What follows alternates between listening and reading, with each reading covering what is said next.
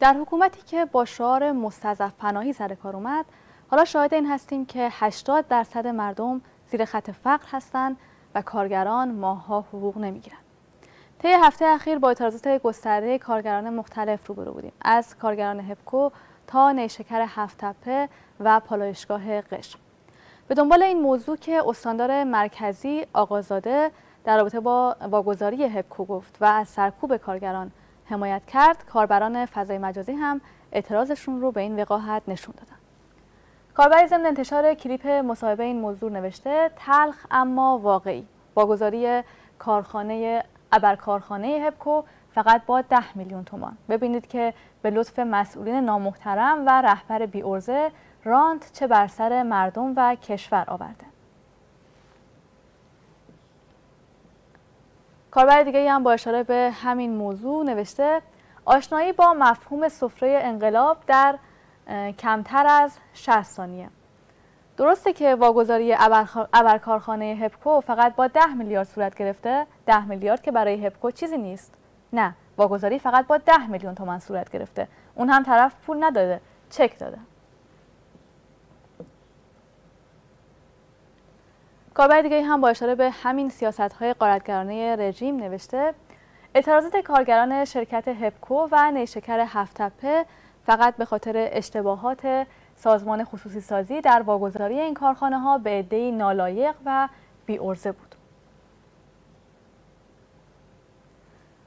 کاربر دیگه با اشاره به دروغگویی و وقاحت استاندار مرکزی در رابطه با سرکوب کارگران نوشته روحانی این همه دروغ میگه چرا استاندار نگه علی آقازاده استاندار مرکزی در پاسخ به کتک زدن کارگران هپکو گفت شورای تامین استان به ریاست خودم به نیروی انتظامی دستور داد کارگران معترض هپکو را بدون درگیری از روی ریل پل به عقب هل بدهند. کل عملیات سی ثانیه طول نکشید.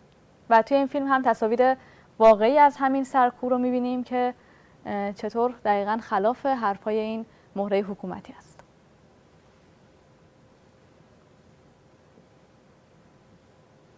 در توییت دیگه هم به همین ادعای آقازاده پرداخته و نوشته علی آقازاده استاندار مرکزی گفت شورای تامین به ریاست خودم به نیروی انتظامی دستور داد کارگران معترض هپکو را بدون درگیری از روی ریل هول بدهند. ولی خب ریل است سنگ و آهن دارد. بعد از اعتراضاتی که به این موضوع انجام شد قرار شد که مدیرعامل هپکو عوض بشه. ولی ببینیم که این موضوع به کجا رسیده. در این توییت اومده که مدیرعامل رفوزه صنعت لوازم خانگی سکاندار هپکو شد. ابوالفضل روغنی که به تازگی به عنوان مدیرعامل هپکو معرفی شده در کارنامه خود سابقه مدیرعاملی شرکت های ارج، آزمایش و پارس الکتریک را دارد. شرکت هایی که کاملا نابود شدند یا نفسهایشان به شماره افتاده و در آستانه تعطیلی قرار دارند.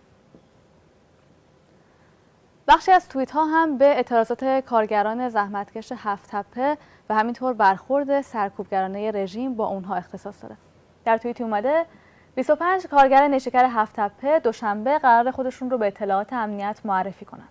پی نوشت کارگر برای چی باید به اطلاعات احضار بشه؟ برای اینکه جلوی ظلم جمهوری اسلامی سکوت نکردن؟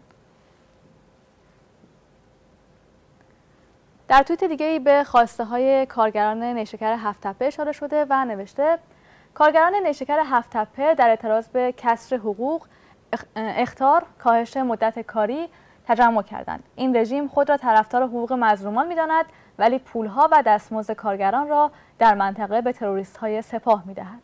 آنها اعلام کردند که دست کم دو ماه مزد معوقه طلب دارند. اما در نهایت هیچ ظلمی پایدار نیست و اعتراضات و حق طلبی و مقاومت کارگران هم قطعا که به نتیجه خودش خواهد رسید.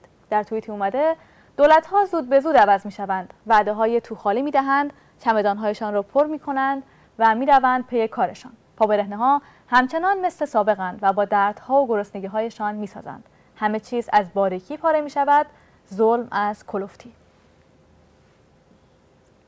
در توییت دیگه هم اومده مناسب ترین و موثرترین راه, راه مقابله با خطر یک جنگ احتمالی در شرایط کنونی نظر به وضعیت کنونی تشدید مبارزات و تحرکات اجتماعی برای رهایی از شر رژیم خودکامه حاکم و عبور از این وضعیت خطرناک و توانفرسا و استقرار یک نظم دموکراتیک در کشور است. کاربر دیگری هم به اتحاد و همبستگی بین اقشار اشاره کرده و نوشته نگذاریم اعتصاب هفت روزه کارگران هفتپه در لابلای اخبار روزمره فلاکت های سرزمینمان ایران گم شده و از یاد رود. ما همگی اعضای یک پیکریم. کارگر معلم دانشجو کشاورز بازاری مهندس همگی زخم خورده در یک نظام فاشیستی هستیم.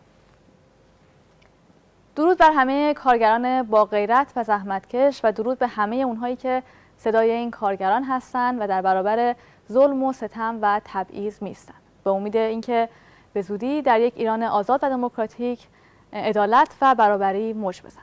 به امید اون روز با و موفقیت برای همه شما عزیزان و تا دیدار دیگه خدا نگهدار همه شما.